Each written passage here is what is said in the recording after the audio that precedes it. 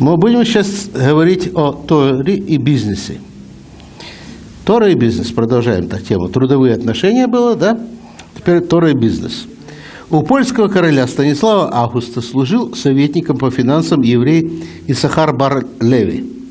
Среди приближенных короля были и антисемиты, для которых советник еврей кость в горле.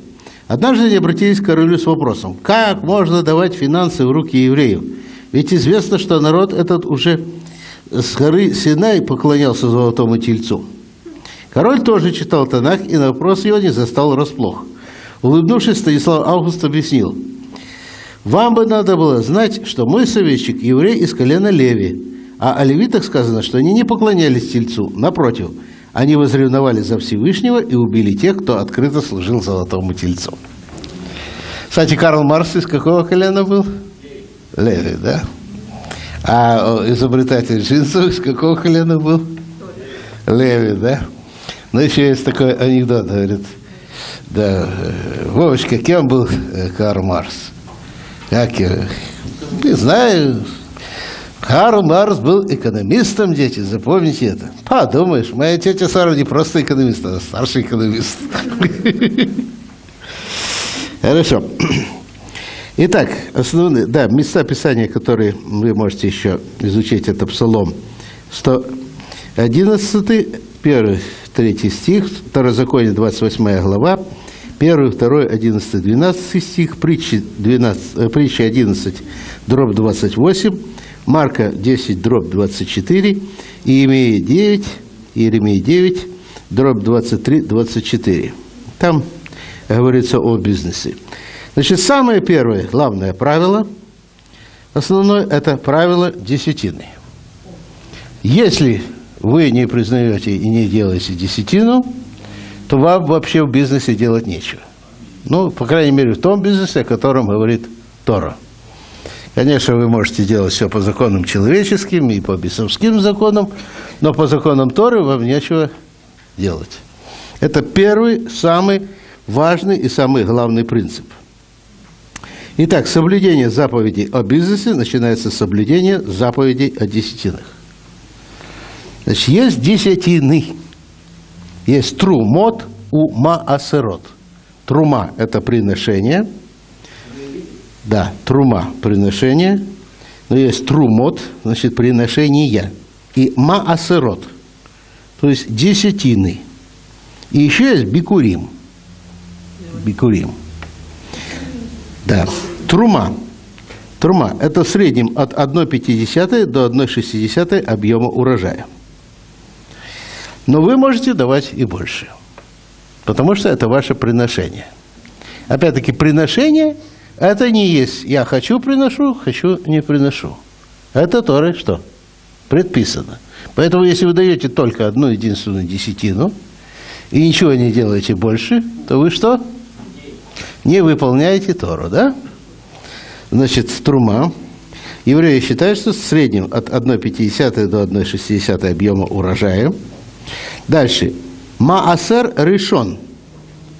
Маасер решен. Значит, это первая десятина. Значит, трума отдавалась в храм, да?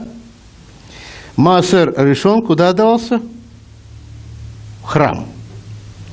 Первая десятина. Это получается одна десятая урожая. Вторая десятина – это одна десятая от того, что у вас остается. Да. Вот. Вторая десятина – первые, вторые, четвертые и пятые годы семилетнего цикла. Значит, и делился там десятина левита, да, бедные, сироты и вдовы. То есть, значит, левитам это первый, второй, четвертый, пятый годы семилетнего цикла, и Массер бедных, значит, третий и шестые годы семилетнего цикла. Значит, вторая десятина в одни годы семилетнего цикла шла левитам, и десятина бедных – это сироте, вдовы и бедняку. Куда она приносилась? Сказано «ворота твои», да? Ворота, как мы знаем, это не то, что значит эту десятину, мы уже разбирали с вами в субботу, да? эту десятину приносили ворота. Ворота – это значит место, где заседал местный, так сказать, муниципалитет, да? Или где место ваша община. Почему? Там имелись определенные общественные амбары, поэтому складывалось там не во все годы. Это не значит, что бедные сироты там в те годы, когда приносили левитов, голодали, понимаете? Просто показывалось, какая часть откладывалась для левита, да, и какая часть откладывалась для бедного, сироты и вдовы. И кроме того, были левиты, которые жили в городах левитов, значит, им отправлялась эта десятина, так? А были левиты, которые приходили к вам. То есть те, которые ходили и обучали Торе. Да, тогда рабинов еще не было. Это были люди, которые обучали Торы. И они ходили, поэтому говорили, и левит в воротах твоих. То есть это были другая категория левитов. Вот. Итак, первая, вторая, еще третья десятина была. Третью десятину кому сдавали? Самому себе, да? Но она была предназначена для того, чтобы, когда были три праздника паломничества, да, вот человек мог прийти и пить, есть в это время, он не просто приходил и экономил каждую копейку, да, он собирал не на черный день, а на радостный день. А это вот не евреи на черный день собирают, а евреи надеются, что черный день им Бог поможет. Все равно черный день все тебя отберут. Придут и отберут. Было такое? Да. Поэтому евреи такое собирали они на радостный день, да? Хорошо. Значит, три десятины. Первая, вторая и третья десятина. Если первая это было 10%, вторая это получалось 9%, да? И третье – это десятая часть еще от того, что у тебя оставалось. То есть в среднем где-то получалось 27% уходило до десятины. Это было нормально. Кроме того, бикурим. Слово бикурим имеет два значения. Слово мевакер, вообще глагол, означает навещать. Значит, бикурим – это навещение, посещение. Да? Когда первые продукты, первые фрукты, они называются бикурим. Что входило в бикурим? Если ты сажал дерево, первые несколько лет нельзя было от него есть. Да. Потом четвертый год, да, сдавал Бекурим, да, а пятый с пятого и последующие все годы ты уже мог его пользоваться. Кроме того, Бекурим, мы говорили, это самое первое и самое лучшее. Это первые ягнята, да? Это все, что первое, первое, Бекурим. Да, первое. Вот вы помните э, э, Гор, э, Горького мать? Ну, Горький не был вообще евреем, но э, он э, еврея усыновил. Вы знаете, Иешу, Иешуа Пешков, э, Зиновий Пешков, это брат Свердлова, он даже стал э, французским генералом, он был усыновлен э, Горьким Максимом. Он описывал, помните, мать, этот э, Фаука, как его там фамилия, я не помню, он на первую свою зарплату, да, купил там себе гармошку, сапоги, а матери платок. Кстати, видите, он по Торе, заботился обязательно о матери. Если бы он отнести, да, храм, да, то есть это был особый бикурим. Но она не определялась определенно, 10 или нет, это ты мог. Сколько у тебя вот желания возникало, да? Но были определенные такие вещи, вот когда с дерева или первый допустим, животные, да, которые рождались. Хорошо. Первый кабачок, первую сливу, первую грушу и так далее. Итак, места, где говорит Тора о десятинах. Левит 27.30. Всякая десятина на земле, из семян земли, из плодов дерева принадлежит Господу. Это святыня Господня. Видите? Не сказано, хочешь давай, хочешь не давай, это все принадлежит Господу. Вот. Если, э, Левит 27.31, если кто захочет выкупить десятину свою, то пусть приложит к цене ее пятую долю. Ну, то есть ты отложил на десятину самое лучшее. А потом тебе жалко стало, да? Ну уж слишком хорошая эта козочка, которую ты отложил на десятину. И решил ее взять себе, а заменю я ее другой козочкой. Да? Ну, к примеру. То ты что должен был? еще добавить пятую часть. Еще пятую часть. Если кто хочет выкупить десятину свою, пусть приложит цене ее пятую часть. Видите, здесь говорится о скоте и о зерне, потому что евреи в то время занимались сельским хозяйством, да? Но когда мы говорим о материальных каких-то предметах, либо о деньгах, в современном, так сказать, понимании, да, товар, деньги, товар и так далее. То есть вот эти десятины. Левит 27.32. И всякую десятину из крупного мелкого скота, из всего, что проходит под жезлом, десятая должна посвящать Господу. Под жезлом почему делали? Это был счет. Когда считали, да, проходит корова, раз, махнул, два, гонит вот через узкий ход. И хозяин машет жезлом. А работник, который считает, он уже не считает этих коров и там коз, а считает, сколько раз тот махнул, да? Хорошо, чисел 18 глава, 21 стих. А сынам Левия вот я дал в уделу десятину всего, что у Израиля, за службу их и за то, что не отправляет службы в скинии собрания. Я уже тоже об этом говорил, что многие возмущаются. Почему же священники там или служители в церкви, они как бы получают эту десятину? Но Богу десятина не нужна, да? Для чего Бог предназначил десятину? для того, чтобы совершалось ему служение, да? То есть десятина принадлежит Богу, можете записать такой принцип, но получают ее люди. И это по Божьему приказу. А то, может, кто-то думает, я возьму, получил 100 долларов, 10 долларов сжег, приятное благоухание Господу. Но, по-моему, таких у нас не находится, правда? Мы понимаем, что десятина принадлежит Богу, но получают ее люди. Обоснование чисел 18 глава, 21 стих. И 24 стих из той же главы. «Так как десятину сынов Израиля, которые не приносят возношению Господа, я даю левитам в удел. Потому и сказал, между сынами Израиля они получат удел». Чисел 18 глава, 26 стих. Объяви левитам и скажи когда будете брать от сынов Израиля десятину, которую я дал удел, то возносите из нее возношение Господу десятину из десятины. Значит, священники, левиты или пастора, которые получают жалование, они тоже платят десятину, да? Это получается уже десятина из десятины. Чисел 18 глава, 28 стих. «Так и вы будете возношить возношение Господу из всех десятин ваших, которые будете брать от сынов Израилевых, и будете давать из них возношение Господне Аарону священнику». Отсюда получается, что десятина от левитов кому шла? Кагену. Непосредственно шла Кагену или первосвященнику. Хорошо. Второзаконие, 12 глава, 6 стих. И туда возносите все сожжения ваши, и жертвы ваши, и десятины ваши, и возношения рук ваших, и обеты ваши, и добровольные приношения ваши, и мирные жертвы ваши, и первенцев крупного скота вашего, и мелкого скота вашего. Да? Второзаконие, 12 глава, 11 стих. «Тогда какое место изберет Господь Бог ваш, чтобы пребывать имени Его там, туда приносите все, что я заповедую вам – все сожжения ваши и жертвы ваши, десятины ваши, возношения рук ваших и все избранное по обетам вашим, что вы обещали Господу Богу вашему. Вот отметьте, это важно.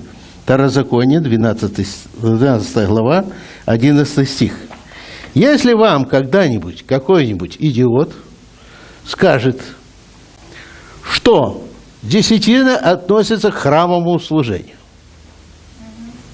вы можете ему твердо сказать, написано. Не написано там, приносите в храм, не написано в скинию, а где? На то место, которое изберет Бог. И где будет обитать слава Божья. Относится ли это только к храму? Потому что некоторые христиане будут с вами спорить. Неразумные христиане. Да?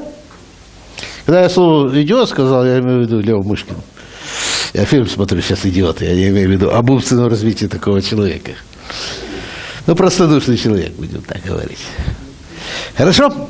Запомнили? Где, где это написано?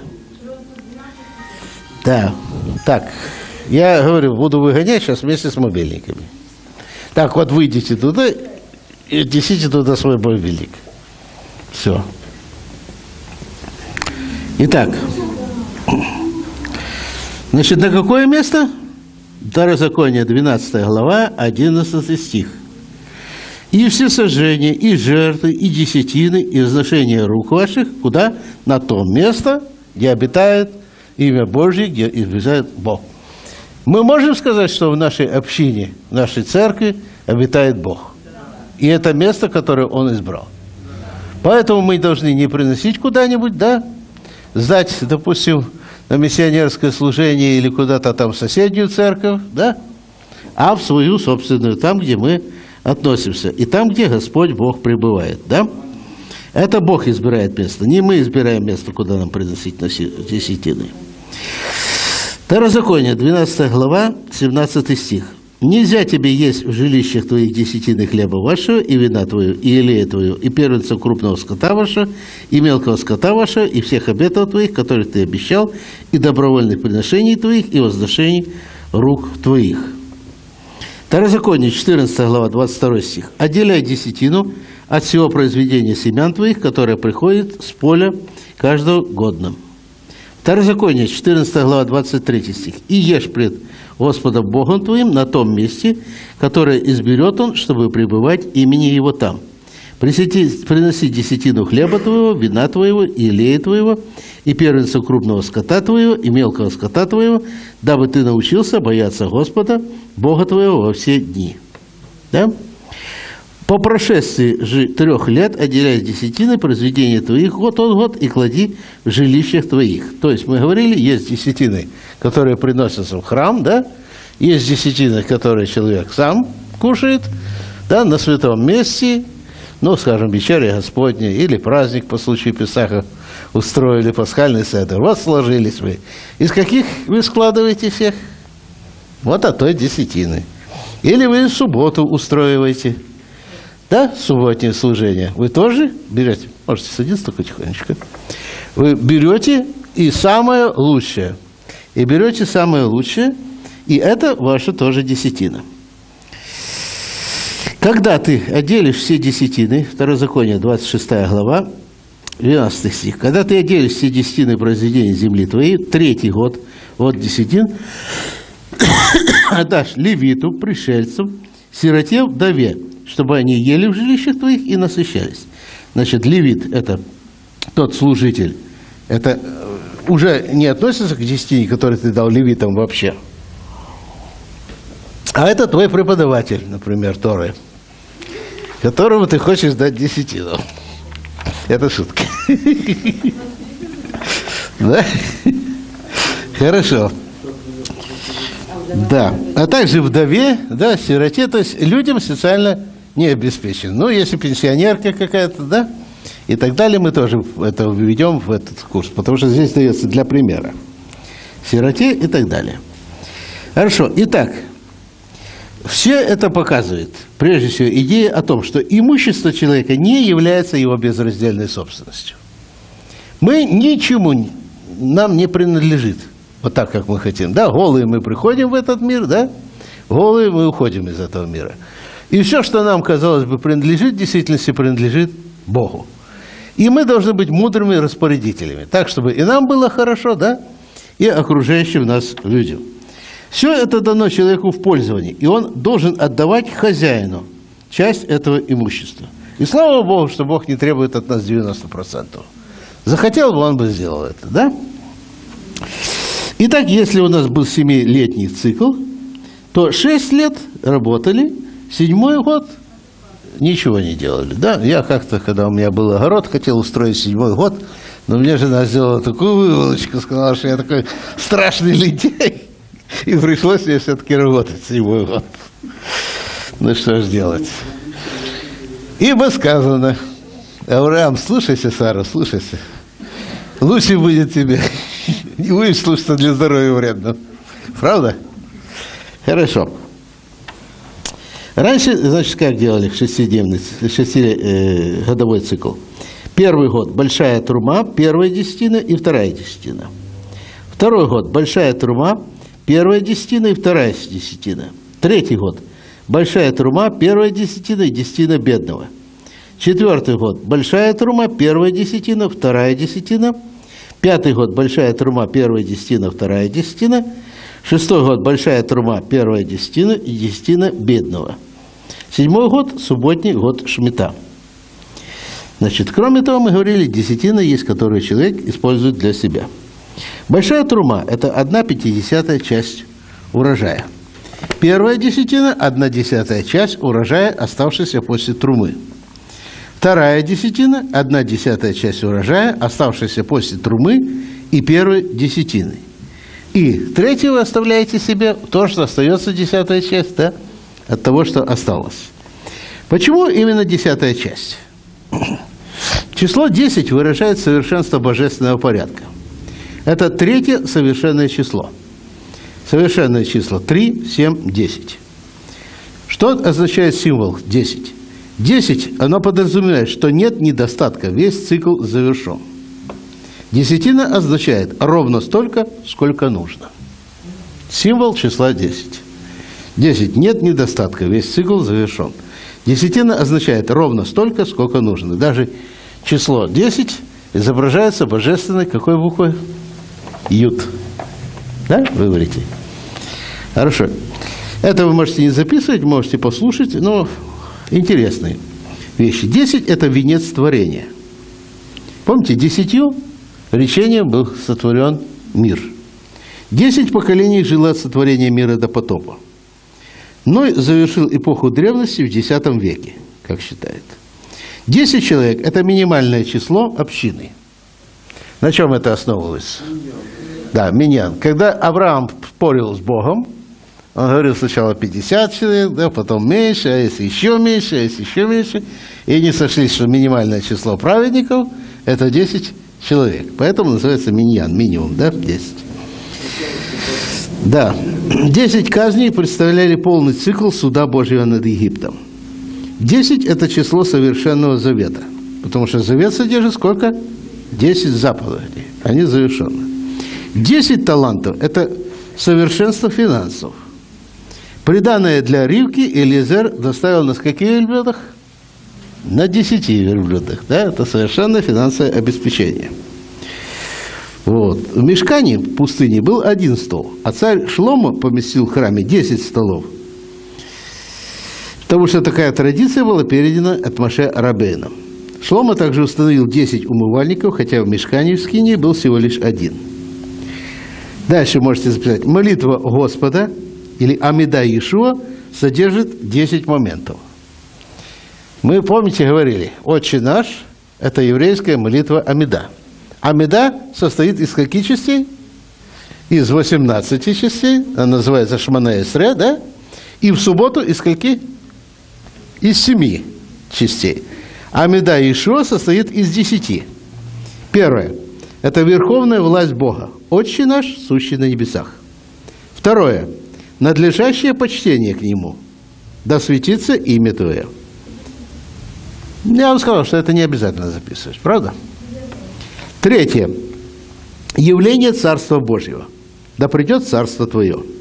Четвертое. Высвобождение Его воли. Да будет воля Твоя на небе и на земле. Пятое. Решение наших нужд. Хлеб наш насущный дай нам на этот день. Айом сегодня. Следующее. И прости нам долги наши, да, и мы прощаем должникам нашим. Это у нас что? Пятое, да? Шестое. Седьмое. Вольба о духовном воде. Значит, шестое – это насущный хлеб, да? Седьмое – это что? Прощение, да? Восьмое. Мольба о духовном водительстве. Не введи нас в искушение. Так, девятое – это что? Избавление. Избавь нас от лукавого. И десятое – Твое есть царство, сила и слава. То есть мы говорим, что Бог имеет десять полноту всего обеспечения. Десять частей виды. Десятина представляла собой то, что человек был должен Богу. Искупление души стоило 10 гер или пол сикля. В будущем тоже мировая власть Антихриста представлена десятью царствами. И в видении Даниила это 10 пальцев ног истукана Навуходоносора и 10 рогов четвертого зверя – Десять народов подразумевает все народы, которым будет обладать Авраам по обетованию. 10 покрывал укрывали схинию. За полу верующего Иешуа иудеев сколько возьмется неевреев? 10. И я уже вам говорю, что это 10 обозначает не только, что спасение одного еврея будет спасение 10 евреев, потому что Гаим – это может быть 10 народов, может быть относиться к 10, значит, э, спасение одного еврея будет спасен, спасена целая община неевреев, например, целый город неевреев. Поэтому 10 это может означать и число праведников в городе. Целый город спасется благодаря одному спасенному еврею. Хорошо сказано, правда? Огонь с небес сходил 10 раз. Я сейчас не буду подробно говорить, на Содом, на первые жертвы, на Адава Авиуда, на ропшущих Тавере, на Корея и так далее. Десять дев – это полнота призванных. Пять верных, помните, было пять неверных. Десять содержит все числа, следовательно, все вещи и возможности. Это основа и поворотный путь всего счета. Десять означает нечто всеобъемлющее – закон, порядок, власть. Это число успеха. Оно символизирует осуществление. Так, 10 – закон, порядок, власть. Это число успеха, оно символизирует осуществление. Это также символ красоты, высшей гармонии. Число 10 символизирует общую идею изобилия, неограниченного количества и законченности. Оно также связано с человеком. Пять пальцев левой руки – это царство закона, пять пальцев правой руки – это царство силы. В Риме 10 прощалось фигурой, да? Это человек. 10, да, помните? Да, 10 – это человек, 10 в Риме. Совершенной фигуры, означающей полноту. Итак, 10 выбрано Богом не случайно. Это число, означающее полноту, совершенство, полный достаток, успех – Видите? Поэтому и десятина, а не двенадцатая часть или не седьмая часть. Вот еще из нашего наследия. По Арабейну там. Десять условий, необходимых, чтобы стать идеальным любящим Ашема, идеальным любящим Господа. Первое. Э, любить Тору. Второе. Получать наслаждение от служения Богу. Больше, чем от общения с детьми или от физических удовольствий. Третье. Любить тех, кто любит Господа. Четвертое. Сводить к минимуму тягу с мирским наслаждением, чтобы они обесмыслились по сравнению с служением Богу. Пятое. Принимать любые усилия, работу или трудности, связанные со служением Богу, с большой радостью. Подобно как человек по своей воле переносит все тяготы ради исполнения желаний любимых людей. Шестое. Исполнять заповеди с искренним желанием и проворно – уделяя им больше времени, чем личным делам. Например, Дерек Принц говорит, почему мало Бог проявляется в жизни? Очень просто. Почему мало Бог проявляется в вашей жизни, мало вы успеха имеете, и вы имеете мало в церкви, действительно видите, да? Он сказал так. Читайте Библию столько времени, сколько вы смотрите телевизор, и смотрите телевизор столько времени, сколько вы читали Библию. Хорошо? Хорошо. Слава Господу. Итак, следующее. Э, открыто говорить седьмое. О любви Гашема, Господа, значит, и гордиться ею. Восьмое. Игнорировать тех, кто разубеждает служить Господу, и не обращать внимания на презрительные замечания и насмешки. Девятое. Не отказываться от служения Богу из-за недомогания или личных неурядиц. И десятое. Служить Богу не для получения обещанной награды, но из любви к Нему. И мы говорили же, что есть там в Кабале, можете потом посмотреть, если вам интересно будет – вот, Юд – это число, которое изображает имя Творца. Это 10. Хорошо. Еще можно толковать следующим образом. 10, если мы напишем арабскими буквами, да, один – это Бог, ноль – это бесконечность. 10 речений Бога, которые Он сотворил мир. 10 наказаний женщине. Прочесть вам наказание женщине? Первое наказание. Ты будешь испытывать неудобства, причиняемые менструациями. Второе. Ты будешь после первой ночи запрещена мужу на несколько дней. Третье. Воспитание детей будет связано с трудностями и самопожертвованием. Четвертое. Беременность будет причинять тебе недомогание и неудобства. По первоначальному замыслу Бога женщина должна рожать ребенка без всякой боли, да? В родах, пятое, ты будешь претерпевать страдания. Родовые схватки существуют из-за проклятия Евы. Говорят, что праведницы рожают, не испытывая никакой боли. Ну, вы знаете, что есть еще некоторые женщины, которые не испытывают боли. Ну, я, правда, не знаю, но слышал о таких случаях. Хорошо. Шестое. Несмотря на то, что твой муж будет господствовать над тобой, а для раба, естественно, пытаться освободиться от твоего хозяина, ты не только не будешь избегать этого подчинения, но и домогаться его. Седьмое. Однако ты будешь сдерживать желание подчиняться мужу в своем сердце. Восьмое. Ты будешь прикован к дому и не сможешь появляться на людях с непокрытыми волосами. Я-то в суде тебя не будут выслушивать в качестве свидетельницы.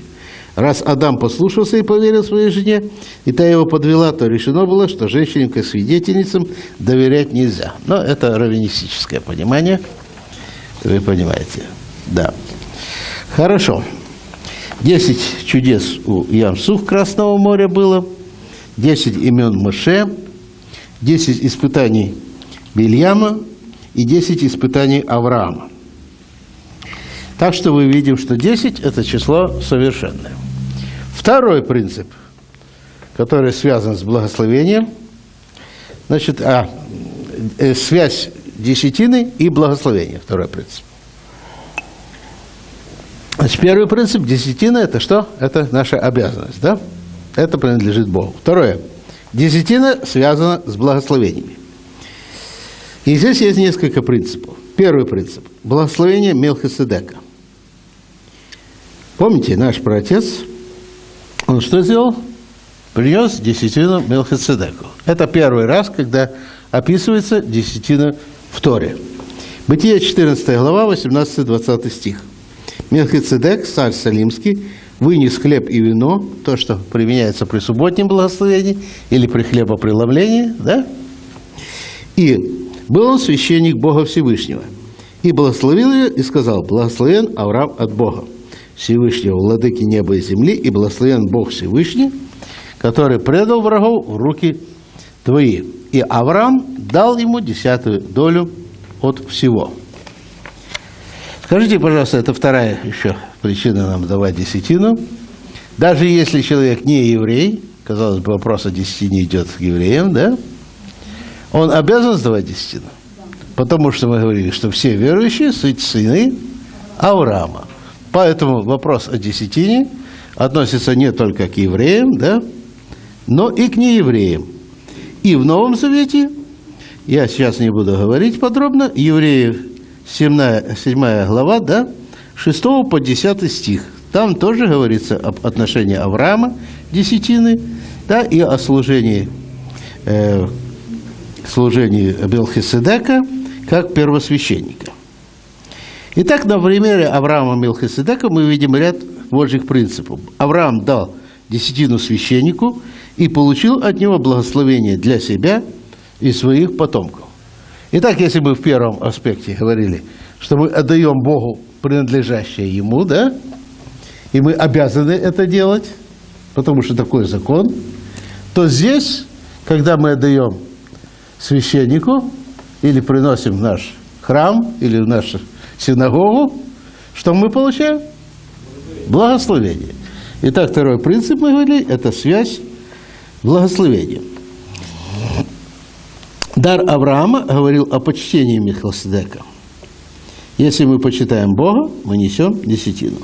В древние времена почтение к высшему над тобой выражалось в приношении материального дара. И нам есть обещание, евреям 7 глава, дробь 7 да? Там говорится, что потомки Авраама получают благословение, да? И как благословение? До тысячи родов. Хорошо. Нам нужно получать благословение от священников и от тех людей, которые ходят перед Богом и служат Ему. Они носители Божьих благословений для нас. Кроме того, второй принцип благословения – это благословение Божьего дома. Так, ко второму принципу благословения под пункт 2. Принцип благословения Божьего дома. Малахия, 3 глава, с 8 по 11 стих. Там говорится, интересно, что дает Бог обещание. Бог себя ограничивает добровольно, да? И ставит те благословения, которые получишь, в зависимости от того, как будете вы обкрадывать людей своего Бога, либо будете приносить все десятины в дом хранилища, чтобы в доме моем была пища, и хотя в этом испытайте меня, говорит Господь Савов. Не открою ли я до вас отверстий небесных, не изолью ли на вас благословение до избытка. Я для вас запрещу пожирающим истреблять у вас плоды земные, и виноградная лоза на поле у вас не лишится плодов своих. То есть это благословение, с одной стороны, говорит о том, что вы будете много получать, с другой стороны, Бог запретит пожирающим, вы будете мало тратить. Вы знаете, есть многие миллионеры, которые действительно нищие люди. Я вам говорю, что помните, в Соединенных Штатах Америки вот такой принцип, что все друг другу должны. Все берут взаймы. И в действительности, если этот миллионер хоть на одну минуту приостановит вот этот вот цикл постоянный, беру, беру, даю, беру, даю, получаю, даю, все, он мгновенно разоряется и получается банк, банкрот, да. То есть любой из нас здесь находящийся, если он не имеет долгов людям, если он выплатил свою там за свет, за газ, за воду, и у него еще осталось что-то покушать, он богаче вот таких американских миллионеров. У нас тоже хотят ввести эту систему.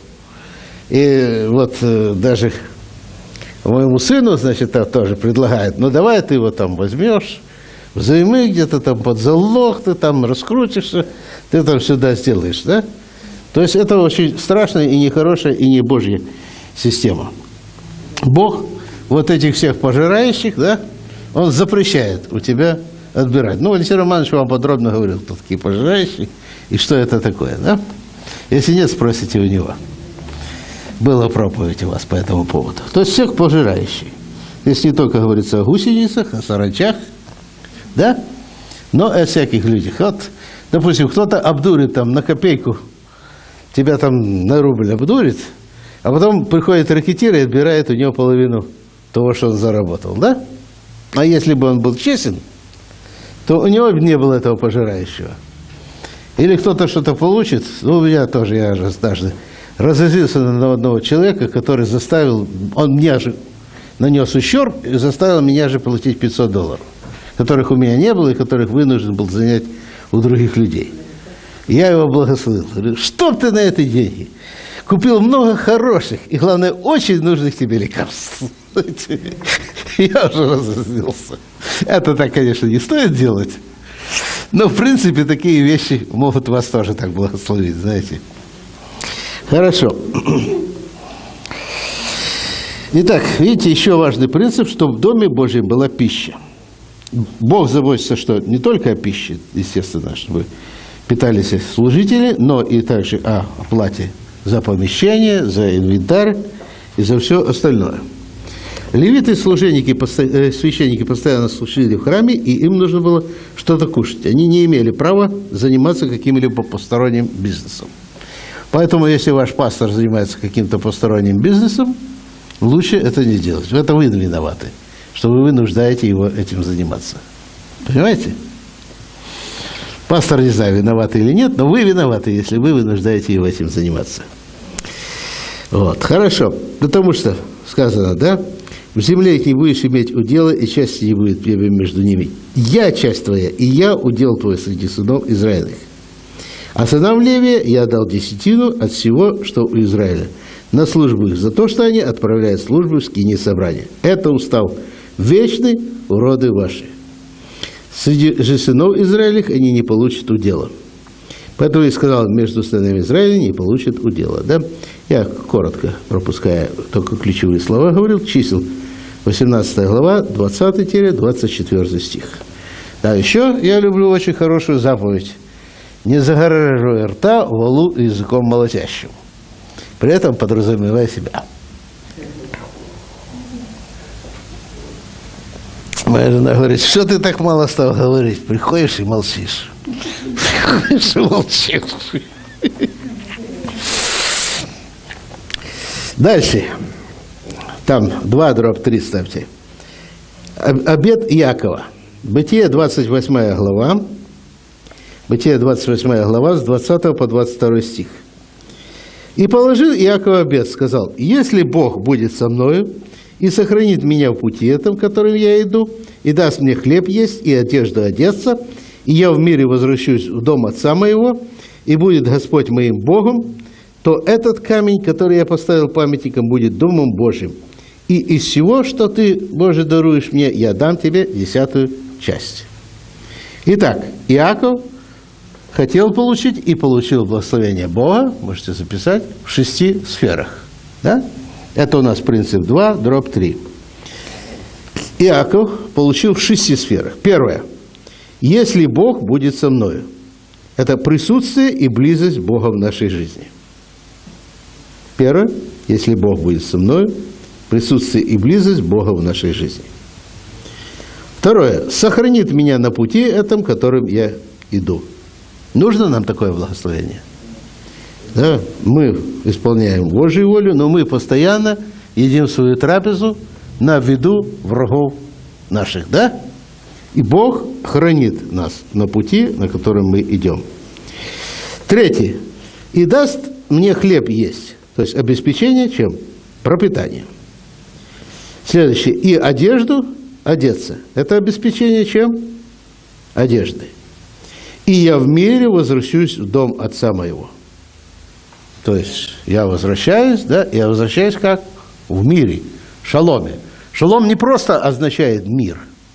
Шалом это означает полноту. Я имею полную полноту Божию. И возвращаюсь в дом отца моего. Хорошее обетование? И будет Господь моим Богом, то есть здесь говорится о покровительстве Божьем. То есть Иаков хотел и получил в шести сферах Божье обеспечение. И он сказал, что это будет дом Божий, Бейт-Эль. То есть некоторые говорят, что он пообещал построить Богу дом и отдавать десятину на этом месте от всего, что он получит от него.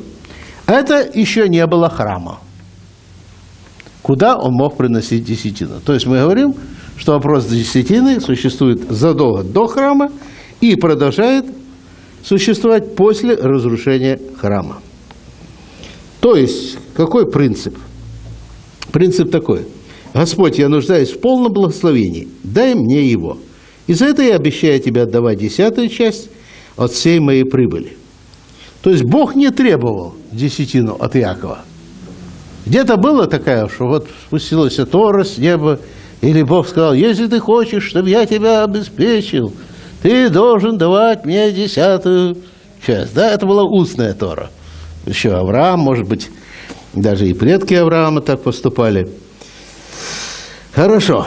Таким образом, значит, обеспечение в шести, в шести таких областях. И это вовсе не покупка благословения Бога. А это завет партнеров по бизнесу. Да? Бог не только друг был Авраама и Якова, да, ну и что, партнер по бизнесу. Яков удивительные вещи делал. Он брал самых худших овец, и почему-то эти худшие овцы, оказывается, размножались самым лучшим способом. А лучших овец он отдавал Лавану. И Лаван, конечно, еще ничего с этого не появил, да? Интересно получалось. Вот. И когда он ушел с Лавана, Лаван это воспринял как личную трагедию. Все, чуть ли не разорился. Не знаю, как был обеспечен Лаван после этого, но Иаков был обеспечен хорошо, и мы знаем об этом. Хорошо. Итак, еще одно основание э, о десятинах, что Ешо не отменял десятину. Значит, мы говорили, горе вам, фарисеям, что даете десятину смятой рут и всяких овощей, и не родите о суде и любви Божьей. Это на этом заканчивает обычно, но и это надо было делать, и того не оставлять. Это Луки 11 глава, 42 стих. Некоторые говорят, ну, в то время тогда еще стоял храм. Но Ишуа говорил о заповедях, которые будут что? Вечными, да? И мы говорим, что нигде Ишуа и нигде его ученики не отменяли заповедь десятины. И еще раз это у вас будет на тесте. Вот, сразу все зашевелились, да? Решался вопрос в Деянии апостолов 15 главе о чем? О том, что нужно делать или не нужно делать в церкви, или о чем-то другом. Если вы правильно ответите на этот вопрос, вы правильно ответите на тесте, да? Как вы думаете, о чем шла речь? О неевреях, присоединяющихся к евреям, и о тех заповедях. Да, но вовсе не шла речь о том, что нужно и что не нужно делать церкви. А то некоторые говорят, ну, 15 главе Деяний апостолов не сказано в субботе. И это ставят основанием для того, чтобы не соблюдать субботу. Я такое встречал в интернете. Другие пишут, что это не говорится о десятине. Там, знаете, о многом не говорится. Правда? Но о том, что, естественно, должен делать каждый верующий. Хорошо. И мы говорили, что десятина подтвержден принцип в Новом Завете евреям. 7 глава, 1-8 стих. В 8 стихе «Десятины берут человек и смертный, а там имеющий себе свидетельство, что он живет». Кого называют, что он живет? Он есть, да? Господь Бог. Ягаве. Что, конец уже? Хорошо. Я делаю вывод, делаю вывод. Следующее мы поговорим о принципе, третьем принципе это благотворительность. Да? Первое это обязательность десятины, вторая десятина и благословение, третье это благотворительность. Так, десятина не заменяется приношениями, сдакой или помощью кому-либо, либо добрыми делами. Десятина – это истина, которой следовали мужи Божьи. Десятина – это правильный и работающий принцип. Десятина – это наше решение и наш выбор. Десятина – это наш обет Богу ради нашего благословения. Десятина – это наша благодарность Богу за то, что Он делает. Десятина – это пища и обеспечение для служителей Божьих. И десятина – это материальное обеспечение Божьего служения. Еще я хочу сказать, как нельзя собирать десятину. В некоторых церквях собирают десятину, э, я не знаю, так говорят некоторые адвентисты седьмого дня поступают, и они, э, свидетели Иеговы, точно так поступают, они собирают справки о том, сколько ты заработал. Да, подоходный налог и должен, соответственно, давать десятину. Еще раз вам говорю, это противоречит закону Украины. Мы должны соблюдать законы нашего государства. Вот. И есть закон от 1995 года, статья 18, дробь 6. Называется «Про свободу совести та релігійної організації». Примусове, то есть какое? Принудительное. Примусове обкладення віруючих роз'ясняється. Безпосередньо пов'язане з відповідним віровченням обов'язки грошові та майнові внески членов релігійних організацій не допускається. Йдеться про внески, пов'язані з віруванням, десятина тощо. Перевести вам на русский язык? Итак, относительно связано с ответственными э, обязанностями верующих, денежные или э, майновые, как это, или имущественные взносы членов религиозных организаций не допускается. Речь идет по взносы, про взносы, связанные с вероучением, в том числе и десятину. То есть запрещается собирать десятину любым принудительным методом. Вы поняли? Десятина – это лично дело кажущего. Но вы без десятины не будете иметь благодати у Господа. Можете быть уверены. Аминь.